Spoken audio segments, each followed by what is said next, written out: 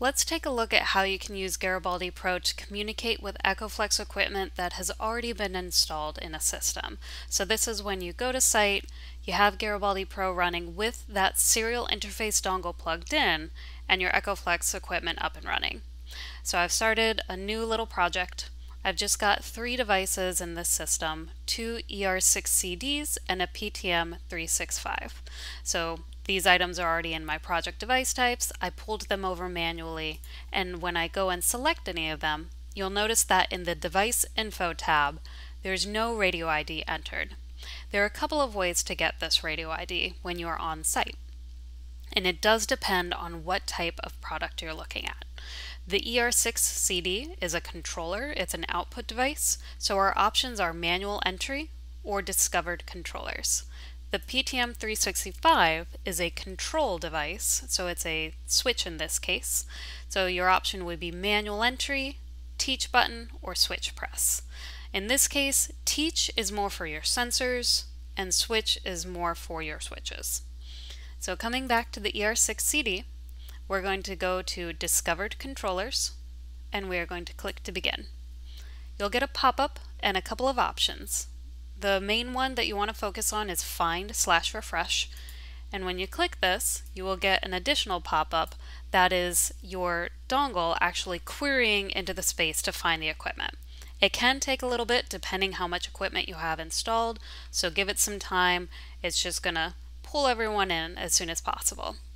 So in this case, we see two ER6 CDs. I do actually have other equipment out there, but since I am selecting the ER6CD, this window will only show me the items that it finds of the same type. You'll notice the green text, and that is talking about signal strength. Green is good, yellow is okay, and red is not so great. You'll also see the radio ID of each unit. So even though it shows it, I may not know which one is which circuit.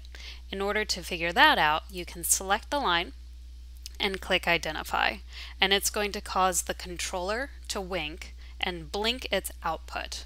So once I've identified, figured out which one's which, I can go ahead and pull them in. So I'm going to select this guy, and if you come back over to manual entry, you'll notice the radio ID here. So I am going to rinse and repeat over with my other unit.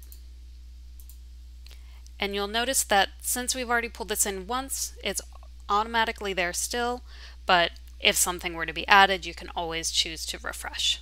So I'm going to select this and add it. And then I'm going to take a look at my PTM 365. So again, you don't have the option to discover controllers in here. And you will also notice a couple of things when we go to our Discovered Controllers tab.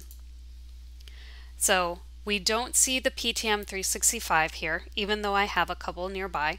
We just see an ERNR. So when I pulled in everything before, the ER6 CDs would have been listed here, but this will also list every single type. And if you want to find and refresh or to identify, those options are down at the bottom. Coming back to the PTM 365, we don't have the ability to discover it the way that we do with controllers, but once you have them added into your project, you can use your teach or your switch press, depending on the type of your unit. So in this case, I'm going to do switch press, and I'm going to choose to begin, and it's going to give me an option and a pop-up to tell me how to identify, depending on what type of unit I have. In this case, it's just a regular rocker switch, so I'm going to press three times on the upside, and it pulls in that radio ID and says it's been identified.